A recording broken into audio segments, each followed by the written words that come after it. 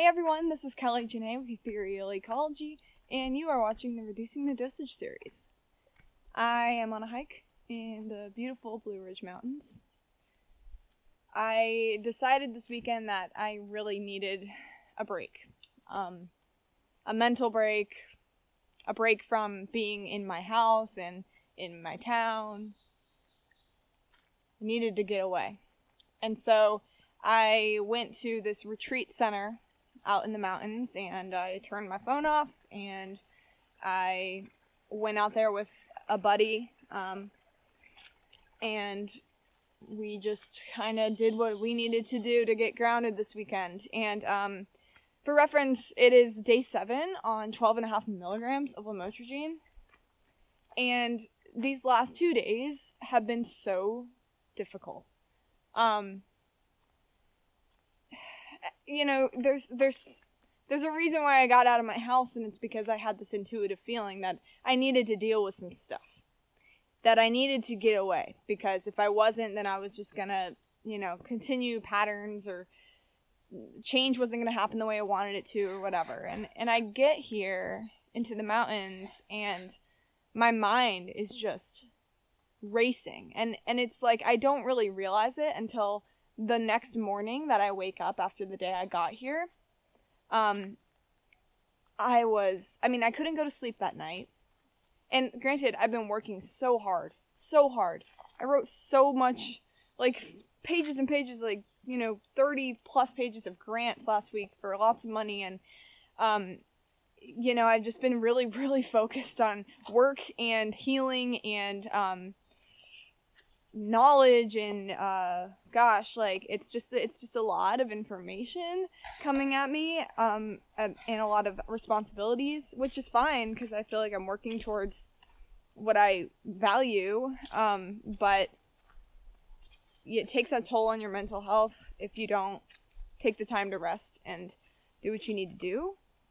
Um but i woke up that morning and my mind was just like and when I'm when I say like my mind is racing, you know, I've had my mind my mind races, but sometimes wow, like my mind races. And this was bad. I mean, this was bad.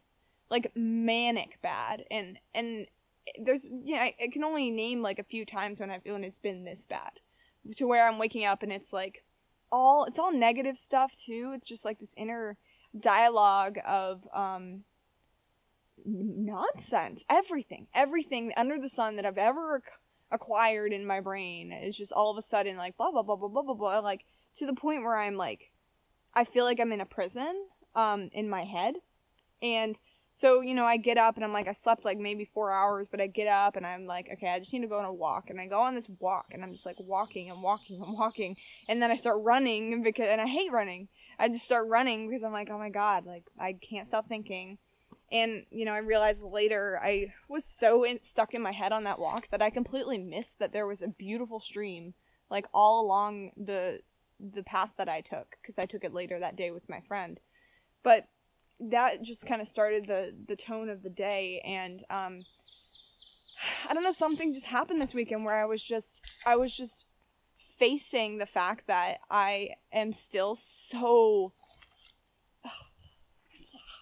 so like I don't want to say messed up in the head, but a little messed up in the head. And um sick. I mean, this is a sickness. It was it was seriously like a weekend of wow, like this is mental illness. Um and it was just so hard on me like because I just felt like I've worked so freaking hard. I've worked so hard ever since I had my mental break. I mean, I've been working hard since, I don't know, middle school. Like, let's say high school. Let's say I've been working my ass off since high school to get good grades, to do this, to play soccer, to, um, you know, be in a relationship and figure out that crap, and then work, and then go to college on full scholarship, get all the straight A's, have all the leadership positions, get the internship experiences, to get the travel experience.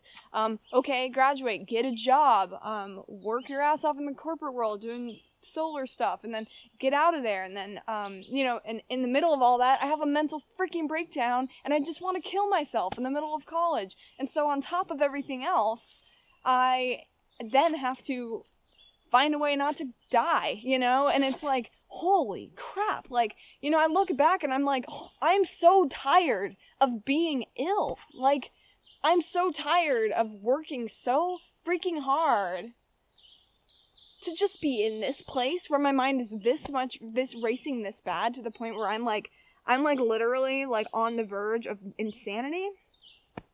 And it's, it was just a discouraging feeling.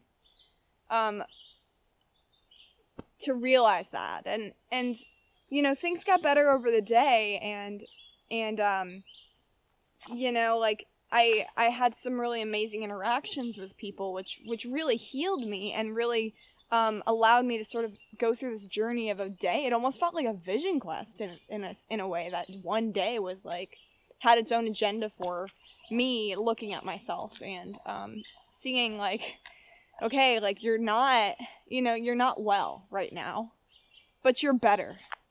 And even though it seems like you are seriously ill in the head and um, it sucks and it literally feels like torture, feels like feels like somebody's just like dropping water, like you know, it feels like I'm being tortured by my own mind.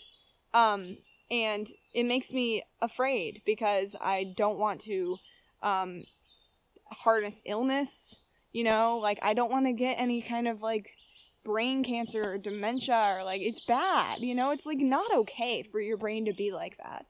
Um, and you know, I realize that it's probably a little bit of a withdrawal symptom, but it's also just like unfortunately it's it's where my mind is at and i've you know cultivated so much meditation and all of these things and i've gone through this process of going from 200 milligrams to 12 and a half milligrams of lamotrigine. I've freaking done an apprenticeship uh, under a blackfoot elder. I did the vision quest. You know i'm like when is this gonna end? Um and on top of all that you know like other things come up like the the question of like, oh my god, like, you know, I was talking to my male friend yesterday and he was talking to me about, well, you know, my female friends have been like getting off of birth control because of this like psychological impact and obviously physical physiological impact that it's having on their bodies and for me like that's something I've been thinking about too. I've been in birth control for 9 years and I actually feel like that might be a really big problem um for what's going on because really what I want to do is release. I want to release the bullshit, you know? I want to get rid of this crap that's holding me down and keeping me in my head and keeping me feeling tense and sad and, and confused and oh, like like all the time just mental anguish. And I feel like because I've been on like this I've just messed with the intuitive female cycle as well. Like I've just cut myself off from my emotional balance. So now I'm like, oh my god, okay, great. So like I'm gonna get off this medication and I still have work to do because then I have to need to need to get off birth control. And I just like I just sort of broke down. I was like, this is and and I I genuinely like in that moment just that that added thing of like that added step that I know that I want to take because if I'm getting off of prescription medication, I I also don't want like my hormones to be all messed up. This is just weird to me. It feels gross in my body and it's scary. It, you don't know what's going to happen as a result of that. And for all I know, the fact that I'm having all these emotions and things that I can't get out of my body, which is the whole point of having a cycle, um, is completely and directly related to that. And, you know, so I just, like, I had this moment of, like, wow, like, if, if this is never going to fucking end, pardon my French, I just, you know, I genuinely was like, why don't I just kill myself? Like, what is the point? I had a suicidal moment yesterday. Um, and, you know, I, I genuinely meant it. Like, I, I'm not gonna, I'm not gonna kill myself, but like, it feels so hopeless sometimes. And I'm like one of the most hopeful people. Because what's the point of not being? And, and you see like the beauty in things and you have this potential in you and you have beautiful friends and relationships and families and you see people who've done inspiring things and so there's hope but like sometimes we just got to get at the end of our rope and just like be there and realize oh my god i need help. Oh my god i'm not there yet. And and be with that without shaming ourselves. And without also letting our thoughts our negativities take us away from the truth of the situation which is that you're getting better. Like you know you are getting better. And, and if i hadn't done all the work up to this point where would i be right now? You know like i don't know if i would be right now actually at all. Um so it's just it's a perspective thing. And it's really hard to see where you're at when you're in it. Um, unless you zoom out and get perspective and also have supportive friends. Like my friend this weekend was able to see me and be like you're struggling right now but like i can see how much you have done and how much work you've done and how much you've progressed like you're doing all the right things and you are going to get through this. And it takes a long time to heal. It does. And when you're on the healing journey, you open yourself up to pain willingly. Um because you know that that's the only way through it. That's the only way through it otherwise you're going to live with it. And life is never going to be the way you want it to be. So, you know, but on a positive note, beautiful people this weekend. Like beautiful people who, you know, reinstated that I'm not alone, that I have gifts for nature connection and, and ecology and things like that, and that I have, you know, that, that the work that I've done shows. Because when you're when you're the person who's done it and you've gotten to that point and then you realize, oh my god, like think I'm almost there, but like I, I don't know and, and I want to be, but I can't control everything and it's just like, no, you're you're amazing, you know? And so like let's just encourage each other for freaking frick's sake. Like just encourage people because life is so freaking hard. It's so hard.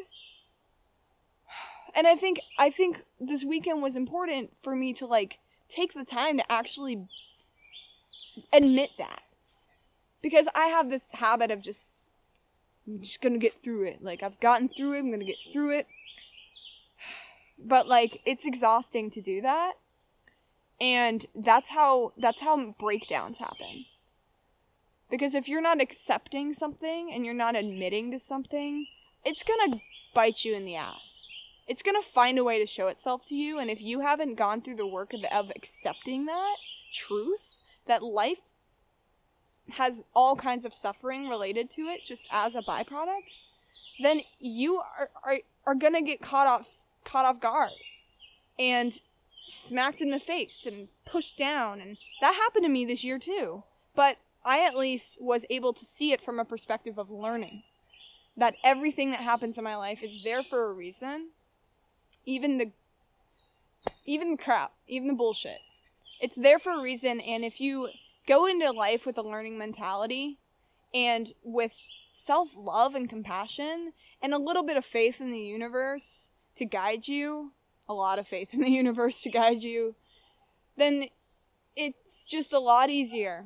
Um, but gosh, it's not easy.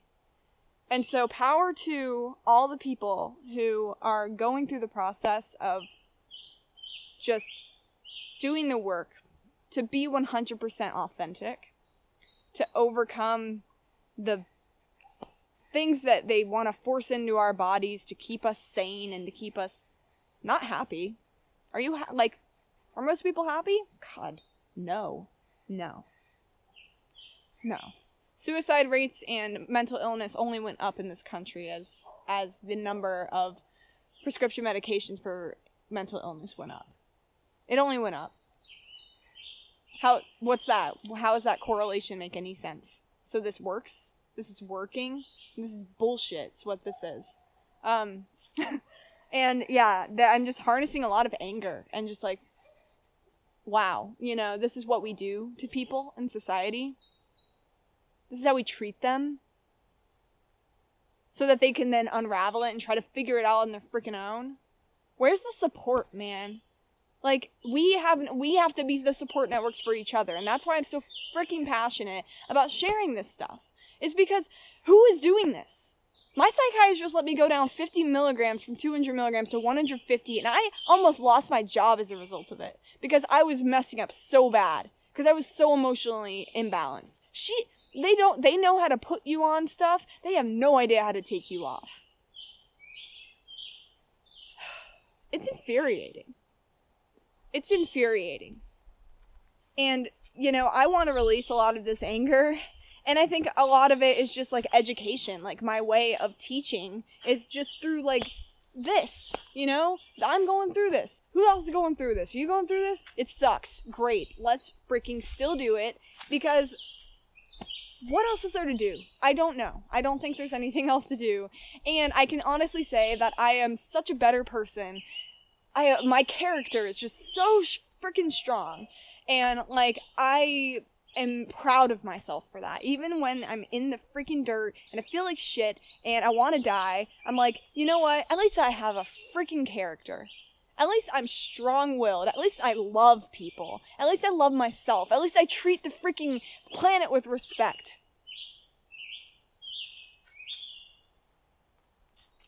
So there's my rant for the day, and that's how I freaking feel. I I'm just I I want it's not I I am not asking for this to be over sooner than it needs to be. But you know, I I'm just grateful for the little glimpses of hope. Um and for the people who show me that I'm okay. Like on some deep soul level, I'm ama- I'm enough. Ugh. So, yes. On that note, be strong. I mean, like, but don't don't be so strong that you uh, ignore your weaknesses. Like, it's it's not always the best thing just to power through. Like, you know, I really needed to cry this weekend, and I didn't cry all that I really needed to because I didn't really have the I didn't really have the space to do that.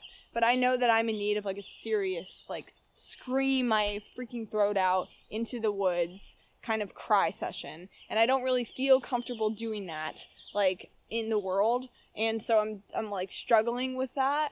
Um, but you know, find those safe spaces in your life, and if you don't have them, create them. That's what I'm trying to do. I'm trying to be a safe space for myself, let alone others. Let's just do that, please. Because this is not okay. It's not okay. well, I hope things get better. They're gonna get better this week because I don't have to focus so much on my mind. I can work some. But I, I also know that, like, it's really good for me and for everyone to go outside. Go outside. Go on a retreat. Get the freak off your laptop and your phone. Get off of it. God. Like, you have no idea how much bull. Ugh, it's like gross. Like, all of that. You need to let go and you need to go be by yourself and you need to just look at things. And it's not always going to be in this moment of like, oh wow, like I suck. It's to be like you might be like, "Oh my gosh, wow, I'm awesome." It's it's it's all of it. Like but you got to let you got to do the things that are to help you be m- mentally and emotionally resilient. And for me, taking retreats and going outside more and being with people who give a shit about me um, is is my saving grace. So I really hope that all of you have that. Um, you know, I I love you all so much, and I'm just so proud of every single person who's even watching this video because that means you have some interest in healing and that means you have some interest in a better world. So may we continue to do the work to move towards a place where people can feel safe, supported, loved, um, and fulfilled. Like, let's do it. Let's do this together. Whew. Okay, Pachamama, I love you. Thank you all so much for watching. Be well, smile, and stay positive. much love. Bye.